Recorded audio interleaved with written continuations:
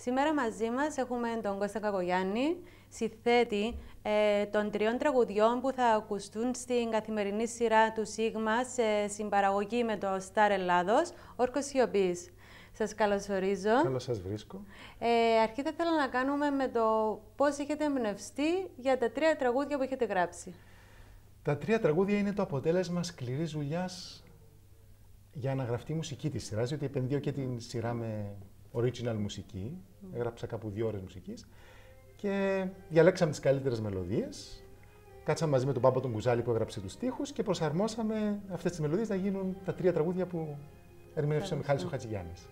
Ε, πίσω βλέπουμε πλάνα στα οποία όπως παρακολουθούμε ε, παίζετε αρκετά όργανα. Παίζετε εσείς τα όργανα.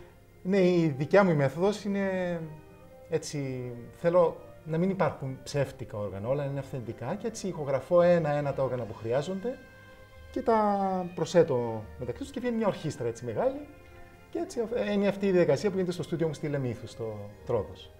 Ωραία. Πώς ήταν η συνεργασία σας με τον Μιχάλη Χατζηγιάννη; Ε, πανέμορφη όπως πάντα. Ναι. Ε, με τον Μιχάλη έχουμε συνεργαστεί πάρα πολλές φορές. Πρώτη μας φορά ήταν στη Eurovision το 1998, όπου διεύθυνα την ορχήστρα του BBC και έκανα την παραγωγή του τραγουδιού του Genesis. Τότε Ναι. είχε γράψει τους στίχους ο Ζήνωνας ο Ζιντήλης, ο δικός σας. Λοιπόν. Μετά γρα- κάναμε πάλι με τον Ζήνωνας το Ζιντήλη σε στίχους στο «Ινακτή ονείρων», ένα τραγούδι προσευχή, αυτά για το Σίγμα. Και πρόσφατα με τον Μπάμπο Κουζάλη αυτή τη φορά για το ε, Ρικ, την άκρη του παράδεισου. Από τα τρία κομμάτια που έχετε γράψει, ε, ποιο είναι το αγαπημένο σας; Είναι όλα παιδιά δικά μου και τα αγαπώ. Ας πούμε, αυτή η μελωδία είναι το τραγούδι της έναρξης, αλλά σαν τραγούδι έναρξης είναι πιο ρυθμικό, δεν είναι τόσο συμφωνικό όπως το ακούμε εδώ. Το αγαπώ φυσικά. Υπάρχει και το Ομερτά που είναι έτσι μια δυναμική μπαλάντα.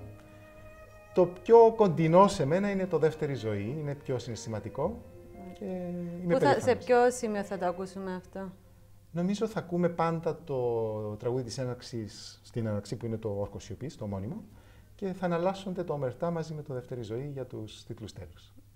Ωραία. Ποιος σας έχει κάνει την πρόταση για να συνεργαστείτε; Η πρόταση ήρθε από τον φίλο τον α, Δημήτρη τον Τοκαρή, σε συνεργασία με το, την Ελλάδα, το Star, που ήθελαν να υπάρχει original μουσική, να είναι μόνο τραγούδια και κονσέρβα, ώστε όταν κάποιος παρακολουθεί ή ε, ας το ακούει από μακριά την τηλεόραση να παίζει, να αντιλαμβάνεται ότι «Α, αυτό είναι ο Όρκος Σιωπής, είναι η μουσική αυτή, άρα είναι η σειρά μου».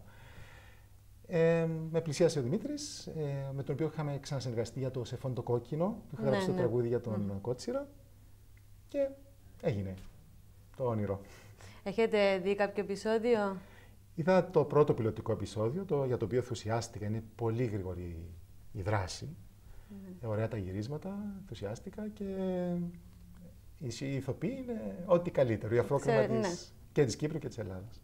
Ωραία, σας ευχαριστώ πάρα πολύ. Εγώ ευχαριστώ. Και ανυπομονούμε να ακούσουμε και πρώτη, όπως είπαμε από το Lifestyle, τα κομμάτια.